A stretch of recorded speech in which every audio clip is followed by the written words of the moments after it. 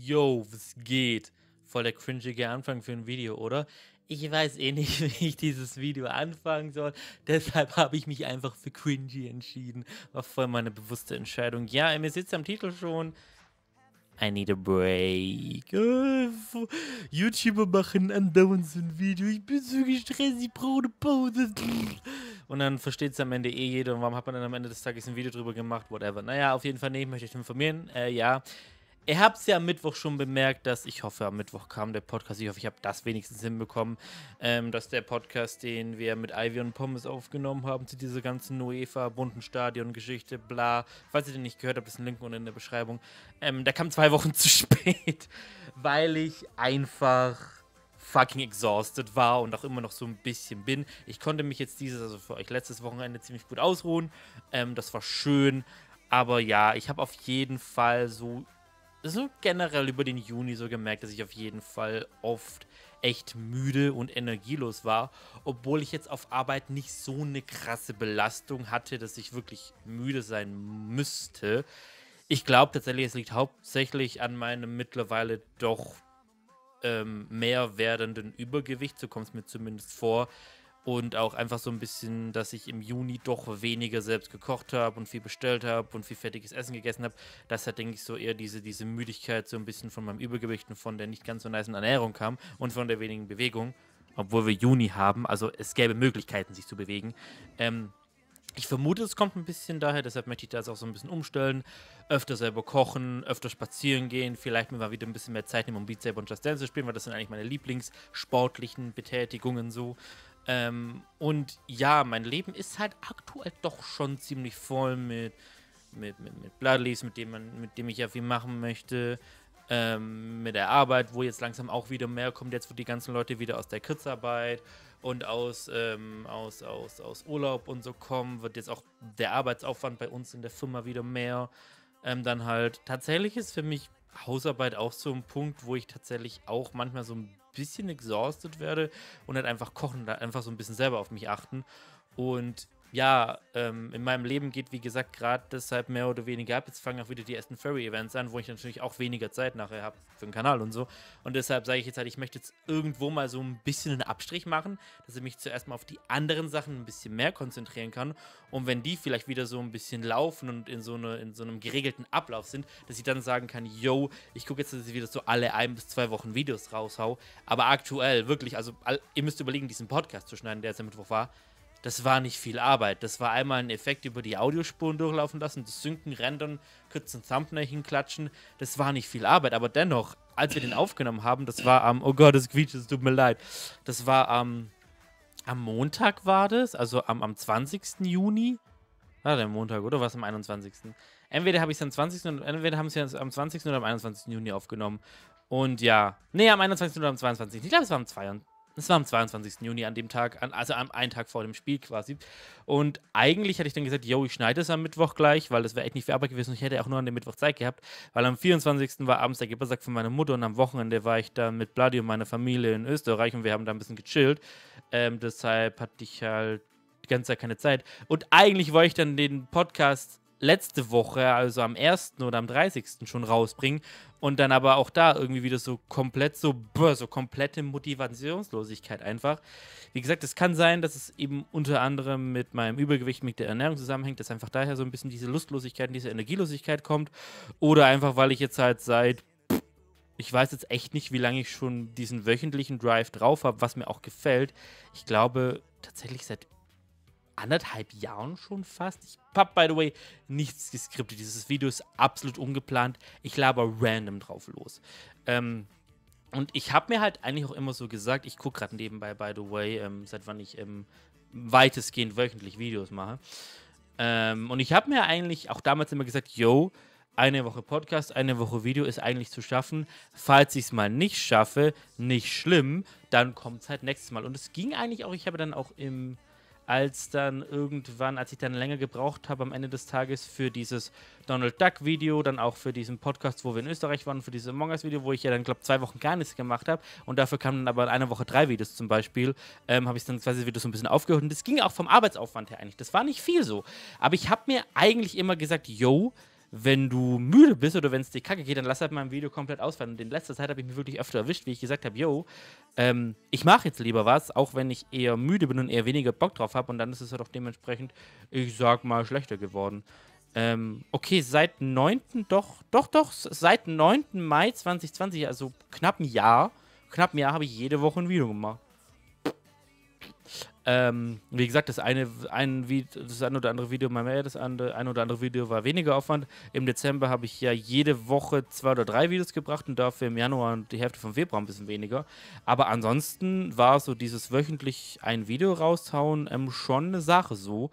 Und ja, also ich glaube, jetzt ist es einfach an dem Punkt, wo halt einfach alles zusammenkommt, dass alles ein bisschen zu viel wird. Deshalb muss ich halt sagen, ich muss jetzt halt irgendwo zurücktreten und YouTube ist halt so die unwichtigste Sache in meinem Leben, was jetzt nicht heißt, dass mir YouTube egal ist, aber verglichen mit meinem Freund, mit meiner Arbeit und mit, mit, mit Freunden und Furry-Events ist halt YouTube dann doch so mein unwichtigstes Hobby und das, was halt in, im Leben, so sage ich mal, am wenigsten Priorität hat, was YouTube für mich auch ist, auch wenn es ein Hobby ist, was mir trotzdem Spaß macht, sage ich halt, yo, das ist jetzt die erste Sache, wo ich halt kürzer treten möchte, damit es mir ähm, später wieder ein bisschen besser geht und dass ich dann auch irgendwann wieder häufiger Videos machen kann.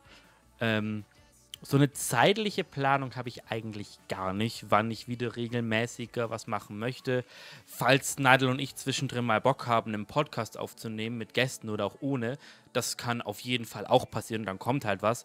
Aber so grob im Kopf habe ich, also das ist jetzt keine feste Aussage, es ist einfach so eine grobe Idee für mich, dass ich sagen kann, yo, ab da kann man wieder so ein bisschen anfangen, ist vielleicht so Mitte, Ende August, dass ich mir jetzt auf jeden Fall den Juli ein bisschen Zeit für mich nehme, um da so ein bisschen mein, meine Ernährung und so auf die Reihe kriege und halt auf jeden Fall mindestens die ersten zwei, drei Wochen vom August, vielleicht auch mehr.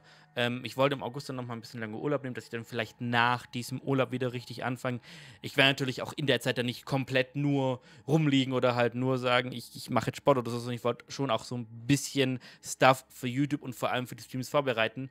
Mal OBS richtig einstellen, das mit diesen, ähm, mit diesen Channel Points machen und so. Einfach, dass ich mir da mal ein bisschen Zeit nehme, dass das vernünftig läuft, dass da dann bei einem Comeback wieder alles nice ist. Ähm, zum Thema Streams, es kann sein, dass es da trotzdem hin und wieder was gibt. Ähm, tatsächlich möchte ich eventuell sogar heute und morgen, falls es im Plan klappt, äh, mit Bloodleaves ähm, Wolf Among Us fertig streamen. Nur wenn es klappt, das ist jetzt auch wieder keine feste Aussage. Falls da was kommt, kommt dann nochmal ein extra Video zu. Ähm, und auch, dass wir einmal im Monat zusammen Mario Kart 8 streamen am Montag, das bleibt auch auf jeden Fall. Ähm, und wenn ich zwischendrin einfach mal Bock habe, auch irgendwas zu streamen oder irgendwas weiter zu spielen, dann wird das passieren. Aber es ist jetzt halt nicht mehr so, yo, jede Woche ein Video und jede Woche ein Stream. Ähm, das, also wie gesagt, Videopause ist, denke ich, schon bis Mitte, Ende August eine gute Sache. Und Streams halt einfach sporadisch. Dies ist einmal, einen Montag im Monat machen wir auf jeden Fall. Also diesen Monat wird es dann auch nochmal irgendwann geben. Ähm, aber ja, genau, ich muss einfach YouTube-technisch jetzt halt ein bisschen kürzer reden, auch ein bisschen vielleicht mir wieder neue Ideen sammeln, weil ich habe jetzt ein Jahr lang Gaming habe ich gemacht, ich habe hier und da ein paar Vlogs, QAs gemacht und das Schlimme ist, oder das, das, was halt auch so ein bisschen, was mich halt vielleicht auch ein bisschen demotiviert hat, ist ja, dass eigentlich ja vor Corona bestand mein Video ja eigentlich nur aus Podcast, Event-Videos und Meinungsvideos. Das steht auch so in, meinem, in meinem Kanalbanner drin.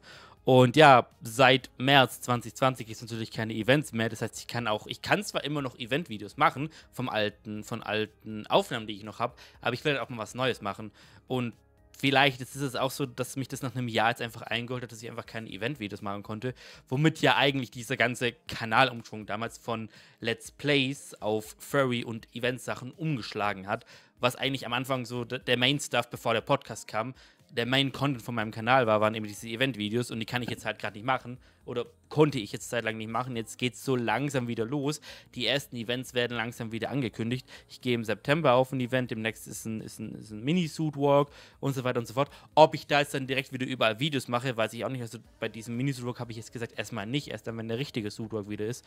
Ähm, um mich einfach auch da wieder so ein bisschen reinzufinden, weil ich glaube auch, nach über anderthalb Jahren wieder auf ein Furry-Event zu gehen, wird erstmal gewöhnungsbedürftig sein, aber ich freue mich drauf. Ähm, und ja, einfach, dass ich ein bisschen Zeit für mich habe, für diese ganze Annäherungs- und Abnehmgeschichte, so ein bisschen überlegen kann, wo will ich mit meinem Kanal eigentlich hin. Ähm, und ja, dass einfach auch langsam diese Events wieder so ein bisschen anfangen und dass, wenn generell vielleicht das Leben, wenn wir Glück haben, Ende diesen, Anfang nächsten Jahres, wenn viele Impfungen durch sind, wenn dann auch die, die Delta-Variante gut abgeblockt wird von Corona, ähm, dass dann so ein bisschen das normale Leben wieder beginnt, dass ich dann auch safe sagen kann, yo, ich weiß wieder, wo ich hin will. Aber so diese, diese, diese Idee ist man also auf jeden Fall so der Plan bis jetzt ist, dass ich mal bis Mitte, Ende August auf jeden Fall eine YouTube-Pause mache mit sporadischen Streams und ganz, ganz vielleicht ein, zwei Podcasts. Aber da möchte ich mich auf nichts festlegen. Ähm, dass ihr informated seid. Noch eine andere Sache wegen Patreon. Ähm, so, ich habe jetzt Patreon seit ziemlich genau seit einem Jahr. Mitte, Mitte, äh, glaube Anfang September ist es letztes Jahr, habe ich angefangen. Und es waren immer ziemlich die gleichen Patreons da, es sind manchmal ein paar dazugekommen, manchmal ein paar weg, manchmal auch so ein bisschen die, die Tier geändert so, aber es war ziemlich stagnierend so in meinen Augen. Ich meine, ein Reward ist ja auch, dass man auf Cons mal zusammen Bilder macht. Es gab seit eineinhalb Jahren keine Cons. Ähm, deshalb, ja, ich würde mir wünschen oder ähm, jetzt einfach auch mal euch fragen, ähm, falls jemand von euch Patreon ist oder ähm, falls jemand von euch da mal vorbeigucken möchte und sich mal die Tiers angucken möchte, einfach mal so ein bisschen Feedback geben. Auch gerade vor allem die Patreons jetzt gerade, seid ihr zufrieden mit den Tiers? Würde euch gerne noch was anderes dazu wünschen. An die Patreons, denen ich noch ähm, Postkarten und Sticker schulde, schreibt mir bitte, wie viel ich euch schulde und vor allem, welche Postkarten ihr schreibt, dass ihr nichts doppelt bekommt. Ähm, das werde ich dann auch gucken, dass das im Juli noch alles losgeschickt wird. Wie gesagt, das, die, die Rewards für Juli bekommt ihr auch noch, weil für Juli habt ihr ja gezahlt. Aber ich werde jetzt auch ab August dann erstmal Patreon die Zahlungen pausieren, weil ich mache ja gerade nichts. Ähm, das heißt, schreibt mir bitte, was ihr noch bekommt und dann wird das im Juli verschickt. Ähm, selbiges gilt für die Plus-Minus-Podcast-Tassen für die geniale Nebenfolge, die ja auch schon ein paar Tage her ist. Und auch für den Gewinner, der damals unter dem, oder die Gewinnerin, ich habe noch nicht mal mehr ausgesucht, ähm, unter dem Roomtour-Video, dass ich hier noch diese T-Shirts verlosen äh, werde. Das wird auch noch alles losgeschickt. Das werde ich jetzt auch, da werde ich jetzt auch die Kanalpause nutzen, um das mal vernünftig zu machen, um damit mit den Gewinnern und Gewinnerinnen in Kontakt zu treten, das zu planen, das zu verschicken und so. Dafür möchte ich das auch nutzen, dass ich einfach mich darauf fokussieren kann, weil das bin ich euch schon längst schuldig und ich verspreche euch, das kommt im Juli oder im August. Aber ich will das jetzt machen, dass ihr das bekommt, weil euch steht es zu, ihr habt es gew gewonnen und ich hasse es, wenn man Gewinnspiele nicht auflöst oder so. Ich habe mich da immer so aufgeregt, als es mal diese ganze Gewinnspielthematik auf YouTube gab. Deshalb, ich gucke, dass ich das im Juli und August auf jeden Fall hinbekomme. Und an die Patreons, denen noch Rewards fehlen, bitte schreibt mir auf, auf Telegram was, was ihr noch äh, bekommt. Dann bekommt ihr das auch. Ähm, genau, und wie gesagt, einfach generell mal so ein bisschen in meinem Patreon gucken und gucken, ob man noch irgendwie was hat, was man besser machen könnte. So, ey, wenn das und das so wäre, würde ich dich vielleicht auch unterstützen. Of course ist diese Unterstützungssache kein Muss, aber Patreon ist ja auch so ein bisschen Teil von, von, von dem Kanal und von dem Stuff, was ich mache hier auch. Und ich möchte halt auch, dass es gut funktioniert und gut angenommen wird. Deshalb wäre ich da über ein bisschen Feedback sehr, sehr dankbar. Ähm, ich bin so gut wie am Ende. Ich habe jetzt das mit der Pause erzählt, den Grund. Ich habe das mit Patreon mit reingenommen. Was ich jetzt noch ganz kurz sagen wollte, ist, ähm, da ich jetzt ja vermutlich eine Weile lang keine Videos mache, verlinke ich euch unten einfach mal ganz, ganz, ganz viele coole YouTuber und YouTuberinnen, die ich feiere. Das sind ähm, Furtuber dabei, das sind Gaming-YouTuber dabei oder YouTuberinnen, einfach Zeug, was ich gerade wirklich auch andauernd gucke, was richtig cool ist. Vermutlich kennt ihr eh 90% der Leute schon, aber einfach mal so ein paar Leute verlinken, die ich selber einfach feiere. Ähm, ja, die man sich auf jeden Fall angucken kann, die coolen Content machen und wo ihr auf jeden Fall sehr, sehr gut aufgehoben seid, währenddessen ich leider nichts mache. Guckt da einfach mal in die Beschreibung, da verlinke ich alle möglichen Leute, die mir einfallen, die ich cool finde. Und ja, ich glaube, das war's. Falls ich irgendwas vergessen habe, schneide ich es jetzt im Post rein. ähm, nee, ich glaube, ich habe alles. Ähm, auf jeden Fall. Danke an alle, die mich ähm, regelmäßig supporten, auch an die Patrons. Ich blende jetzt hier mal nur kurz das Bild ein, ohne jetzt die Namen vorzulesen, falls sich wieder irgendwas geändert hat, aber einfach hier nochmal das Bild. Danke an die Patrons für eure Unterstützung. Ich hoffe, dass wir nach der Poste dann auch da ein bisschen ähm, cooleren Stuff machen können und gerade auch wenn dann wieder Events und so sind, dass man sich auch wirklich mal sehen kann, diese versprochenen Bilder und bla nachholen kann für die bestimmten Tiers und ähm, ja, ich muss jetzt einfach diese Pause machen und ich wollte euch einfach informieren, dass ihr Bescheid wisst, geht's ihm, ist bei dem alles okay und so. Wie gesagt, ich denke mal wirklich, dass ich das so in ein, zwei Monaten dann alles auch so ein bisschen ähm, ausgesortet habe und dass es dann wieder cool wird. Mir ist es auch wirklich aufgefallen, die letzte Woche, wo ich so gefühlt gar nichts YouTube-mäßig gemacht habe, war echt gut und produktiv. Das heißt, ich glaube, es ist ein guter Schritt, um wieder so ein bisschen einen, einen healthy Amount an Produktivität und an so Work-Life-Balance in Anführungszeichen zu bekommen. Wenn ich dann da halt wieder die gute Balance habe, kann ich dann wieder langsam anfangen, wieder da YouTube so mit reinzubringen. Jo. Ähm, ich hoffe, das war's. Ähm, ich hoffe, ich habe nichts vergessen.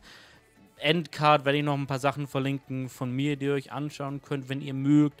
Und wie gesagt, unten in der Beschreibung sind viele andere coolen YouTuber und YouTuberinnen, die auch nice Content machen, den ihr euch geben könnt, während ich weg bin. Ähm, nach wie vor bin ich natürlich auch ganz normal mit Twitter und Telegram zu erreichen, falls irgendjemand Fragen oder sonst was hat. Und auf Twitter gucke ich auch, dass ich so zwei, dreimal die Woche ein First-Bild poste. Und wenn wir mal irgendwo sind und Bilder machen, kann man vielleicht auch mal ein kleines Video für Twitter machen, zum Beispiel, dass man so ein bisschen sieht, eh, der lebt noch, eh, der hat noch Spaß im Fursuit, bla. Ähm, ja.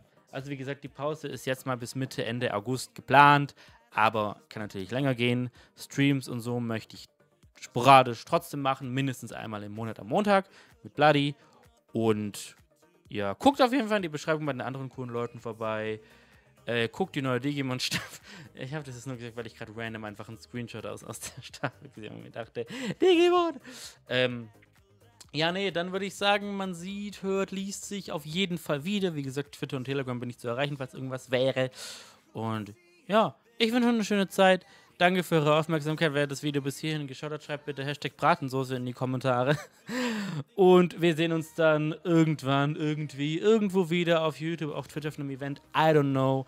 Und ja, danke für euer Verständnis. Der Beski hat euch ganz doll lieb. Bitte nicht umfallen, Beski. Und wir sehen uns dann irgendwann. Ja. Bye, bye, bye. Tschüss, aber ich bin jetzt weg. Tschüss. Ah.